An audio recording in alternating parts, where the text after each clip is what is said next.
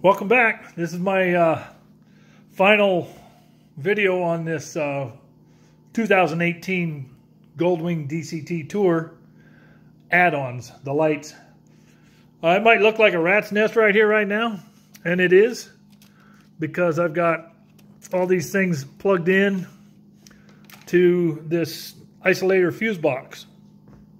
And since these are all LED lights and low voltage lights, uh, there, I see no reason not to uh, be able to gang these up. And what I'm using is these nuts. I can't remember what these are called. I got these off of Amazon. Uh, followed a tip from uh, Cruiseman. And I thought, you know, with all the wires I got to connect, there's awful lot of crimping and connectors and wire nuts or something that I'd have to use. These are simple. So each side's got three lights. Um, that's those three small wires.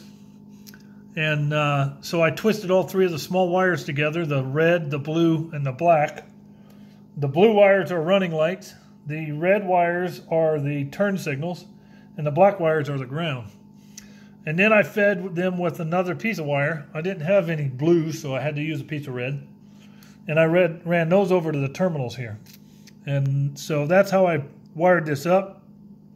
I did a right side and a left side all my wires, of course, are marked. And now I can try it out. You can see my cowl lights are working.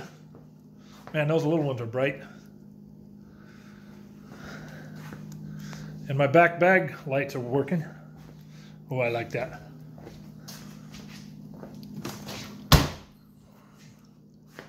And let's do a turn signal.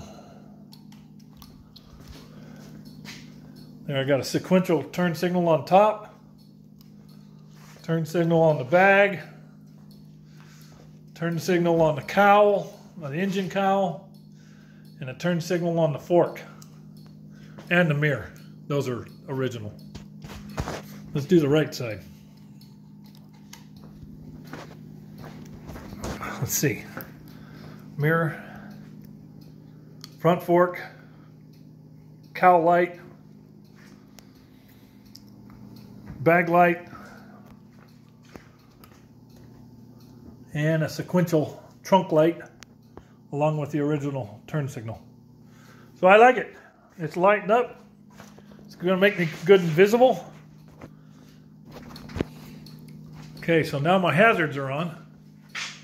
I'm blinking on both sides. And on my trunk, Look at that. So I got to bundle up my wiring, tidy all that up, and tuck it all away. Finish putting it together, I just might be able to go for a ride tomorrow. I still got a couple hours worth of work. I'm kidding you, this is a lot of work on this thing. But I think it's beneficial and it's going to pay for itself. I probably saved enough eleven twelve hundred dollars in labor fees that I could uh, buy myself a motorcycle lift. What do you think, huh? Comment below and tell me what you think about that idea.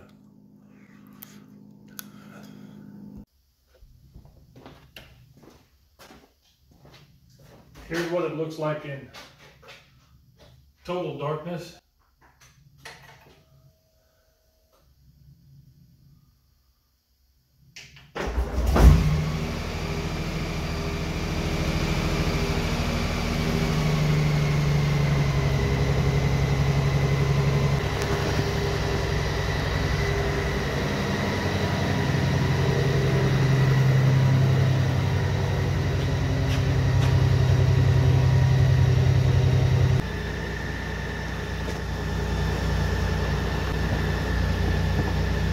There it's with fog lights.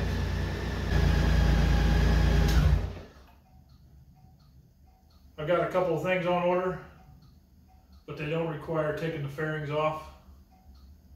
So I'm going to uh, wait on them and I'll uh, do an update on that, but they're, they're small things, I think, so keep winging it.